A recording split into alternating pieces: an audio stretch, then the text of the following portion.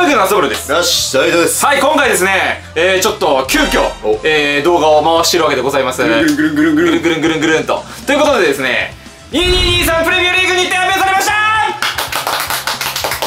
えー、6月16日ですか、はい、の夜撮ってるわけでございますけれども2223プレミアリーグの日程がですね今日の昼ぐらいかなに発表されまして昼ないしは夜日本時間だとこんな早かったっけいつも。ナイス。2週間しか意外とないんだ。意外とこんなですよあ毎年。そうそう。というところでですね、えーまあ、その日程をちょっと見ながらね、はい。ああだこうだ言っていこうと思っているわけでございますけれどもああだちょっとまだ、えー動画のために確認していないと。そうですねあの、開幕戦の、うん。あの話をちょろっとああそうですね、マッチを聞きましたけど、うん。それ以外は知らない。なんなら7時ですら俺は全く見てない。いいねいやよしよしよしよしよしということで新鮮な反応をね、はい。織り交ぜつつ、はい。えー語っていこうかなというふうに思っております。それでは早速いきましょう。レッツゴーということでですねまずえー、まあ、死の子の言わずに、はい。開幕戦の日程見ていこうかといったところでこれが2223プレミアリーグの日程だ!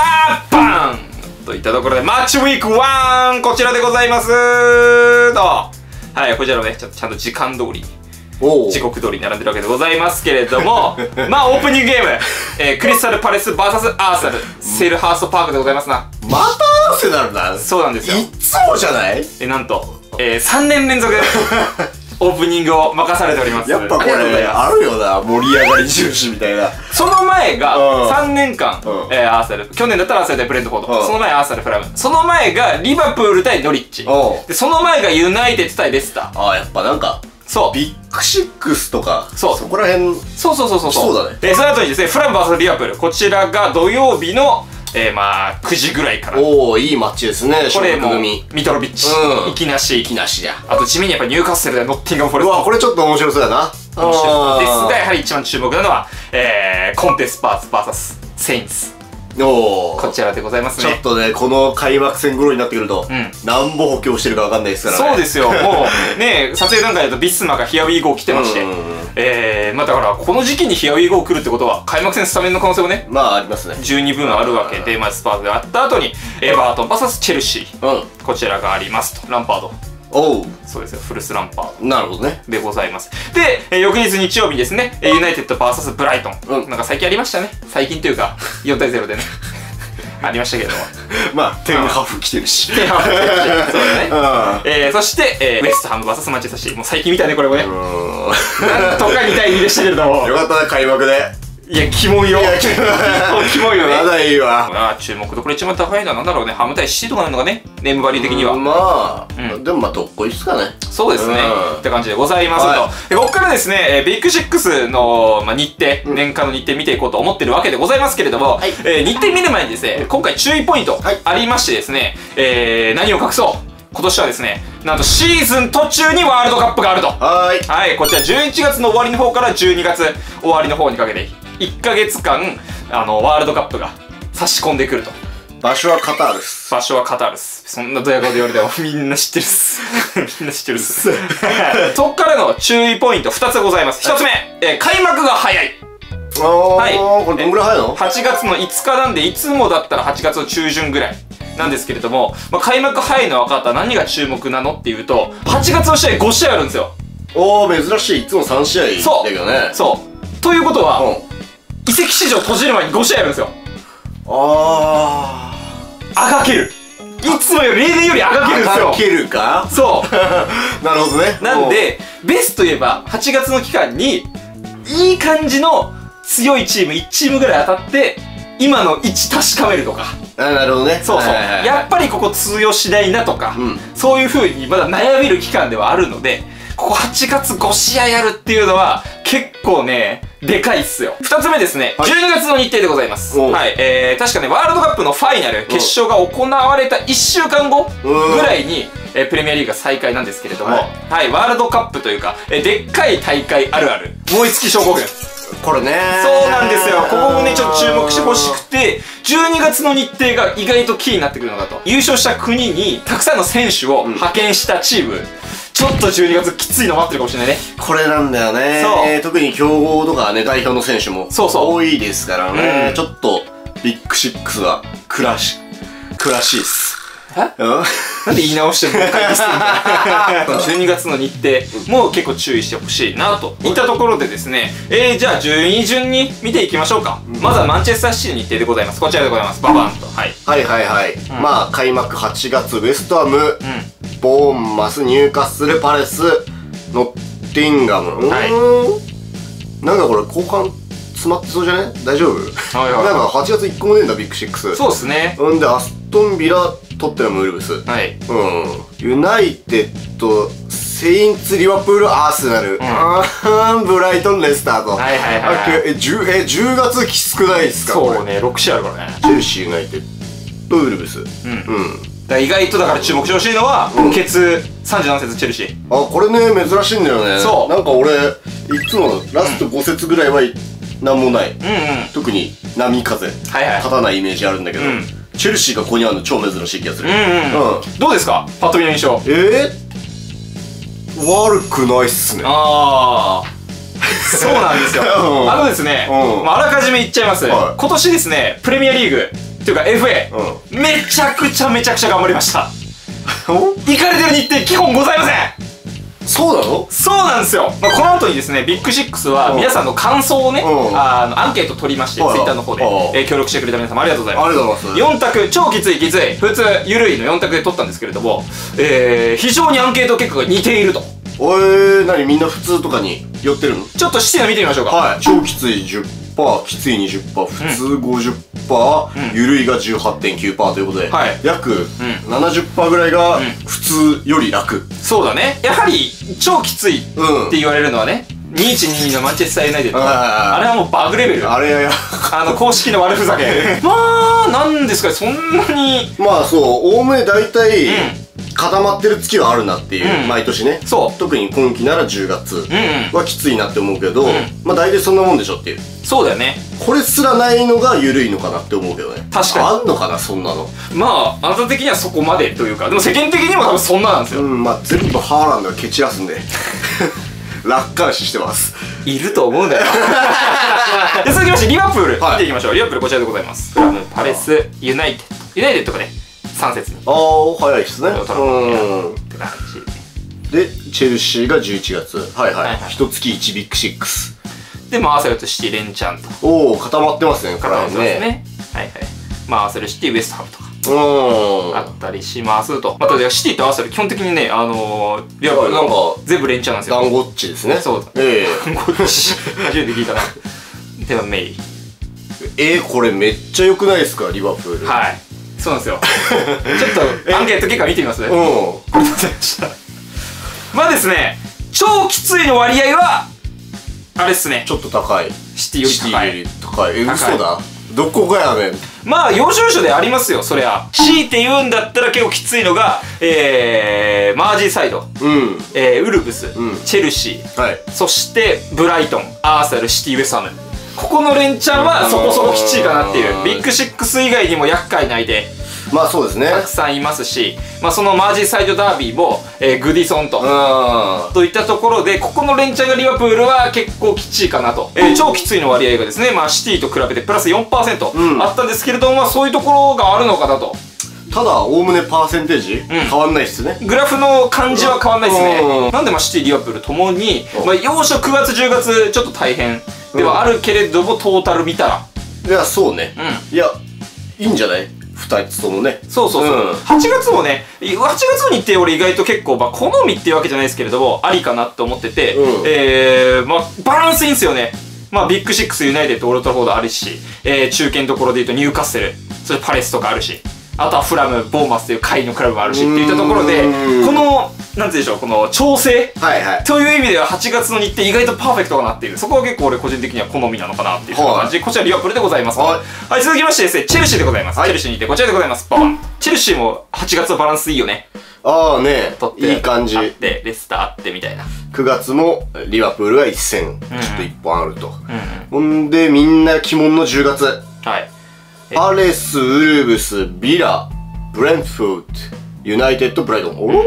ほうほうほうほう。で、アーセナル、ニューカッスルやって挟んで、ボーンマス、ノッティンガムと。はいはい。はえー、で、えーまあ、パレス、リバプール、フラム、ハム、セインツ、トッテナム、リーズ、レスター、エバートン、ビラ、ウルブス、ブライトン、ユナイテッド、プレントフォード、アーセナル、ポー、まあ、マンチェスターシティがケツにあるけれどもって感じで、ちょっと、見事じゃない？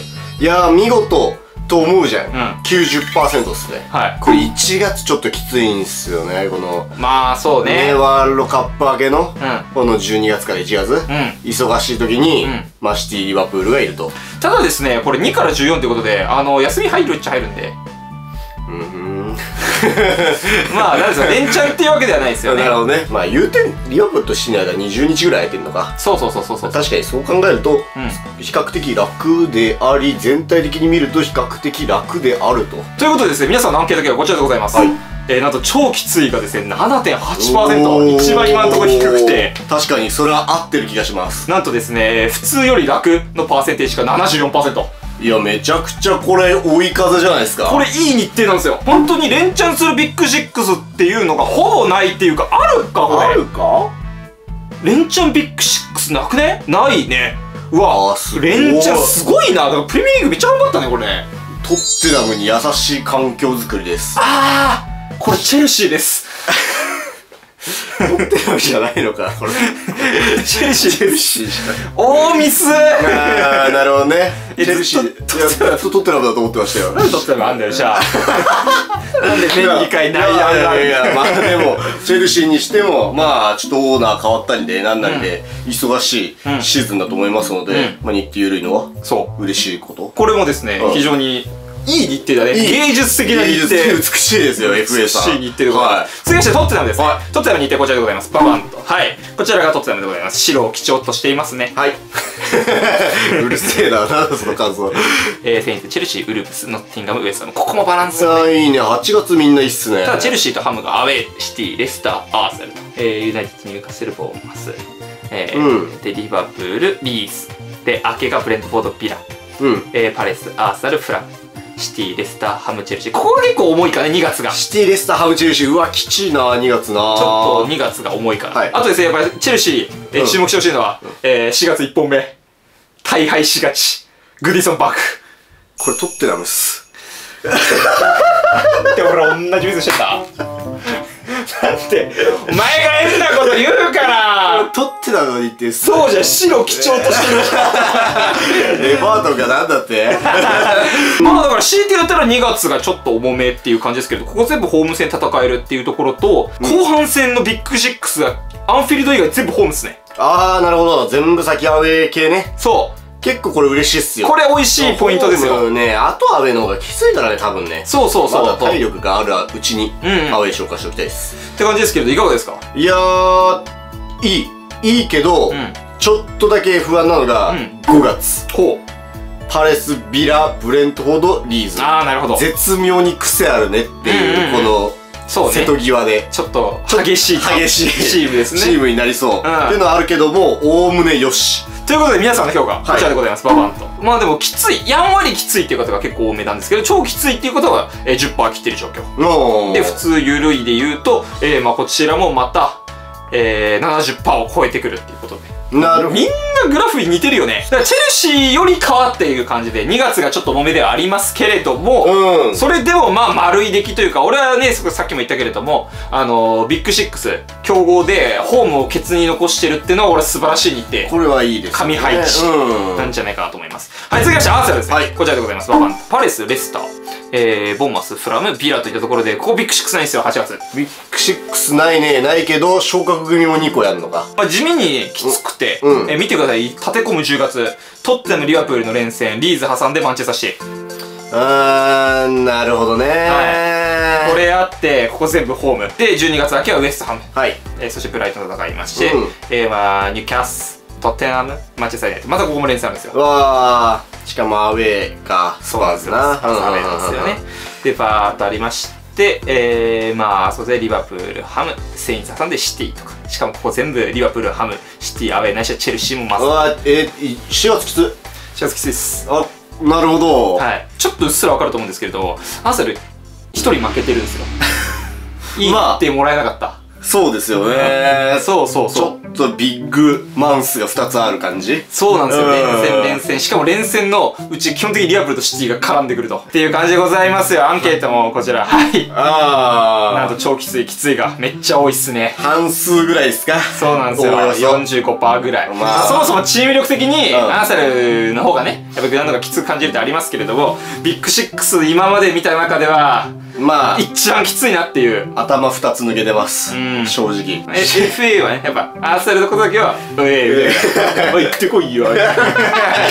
とん飛んでこいよ。みたいな感じのいじられ方するんで、ねしっかり今年も毎年飛ばされてるといじられました。続きまして、マンチェスターユナイテッドこちらでございます。ババン。はい。ブライトン、ブレントフォード、リバプール、セインツ、レスター。これのバランスも結構、俺は高度ですね。ねうん。うんじゃあ結構きちいかな。結構地味にきついっすよねそうだねうえーで、まあ、アーサル、パレス、リース、ん、うんシティ、エバートン、ニューカッスル、トッテナム、チェルシー、ウエストちょっとここが重いかな。やっぱみんな10月重いね。なんだ10月結構愛まみえるねそうだね。みんなねそうそうそうそうそう。うんで、あとちょちょっと注目してほしいのは、ケツ2つ、うん37、38が、両者ともにこの小学組なんですよ。ここしっかり稼げるかどうか。最後の方もね、やっぱり重要になってくるんで。ちょっと俺は好みじゃねえなおおなるほど。うんというと、え理由なし。理由なし。ー、理由はないけど少なくともほ他のビッグシックスよりはうん。きついけおーどアーセナルよりはきつくないあー、なるほど。ぐらいの位置かなうんうん。うんってことはアンケート結構こんな感じですね。はいパパンと。まあそんな感じで、超きついきついはぼちぼち多いっす。おーだよねただアーセルよりが多くない。だよねうんうんほらっていうやっぱね感じで合ってんじゃねえかそうそう。ただ本当みんなね、このアンケートの表の形、うんもう本当にみんな似たような形なんですよね。そうねそうそうそう。いったところで一応こちらがビッグシックスでございますと。はいでですね、その他もぼちぼち、えー確認したんですけど、本当今季ね、バランス良くて、うすんげえビッグシックス連戦入ってるというところは、あんまなかったのかなと。で、ちょっとレスター確認してみましょうか。はいレスターだけ触れたかったのは、うんあの、開幕が結構ね、あの、しんどいというか、おお本当ブレントフォード、アーセル、セインツ、チェルシー、ユナイテッド、ブライトン、ビラ、トッテナムっていう、8月、9月は結構しんどいですよね、レスターはだ。結構前がかりっすねあとですね、レスター取り上げた意味なんですけれども、はい最終節、ウエストハム対レスターなんですよ。うこれちょっと、絶対順位かかってきそう感。んでどっちが上かそうそうそう。ここでなんか EL 圏、ECL 圏とかう、ん。すごい関わってきそうなマッチが最終節あるんそで。っか。これは結構絶妙な配置するじゃない。憎たらしいね。以上でございましてですね、はい。まあ、皆さんね、見てもらったらわかると思うんですけれども、まあ面白くはないよね。結論言うちょとっ。とね。まあ、アーサルもきちっちゃきちいけど、例年に比べたら大外れかと言ったら、まあそこまでではないしこんな感じなんですよ、だからね、やればできんじゃんっていう思いでもある。うんやっぱワールドカップもあるしちょっと今回だけうん本気出したのかなっていうのが、あったのかね？だわかんねえけど、最初からやれよって最初からあれやれよっていうのあるわ、マジで。うん多分、来年はまたぶっ壊れるんだろうしね。まあ、うん。はっちゃけてくれよ。そっちの方が。そう、盛り上がるし。盛り上がるし。そうそうそう。な 誰が引くかわかんないけど、誰がいやわかんないけど、うんマイチーム以外で。まあねね、ぜひともよろしくお願いしますって感じでございますけれど、えー、あともう開幕まで1ヶ月半ぐらいなんだな。もうすぐですよ。はい。な早いですよ、うん。ありますけれど、まあ、一足先に日程が出たといったところでですね今回は日程速報をちょっとですね、えーまとまってはいませんが見た率直な感想を、はい。えー語らせていただきました、えー他にもですねちょっと、えー隠れこのクラブやばいですよなんていう、えーのがあったのでぜひともコメント欄に書いていただけたら幸いでございます。はいよければチャンネル登録お願いします。各種 SS ゲームチャンネルからお願いします。それでは次回の動画でお会いしましょう。バイ。はい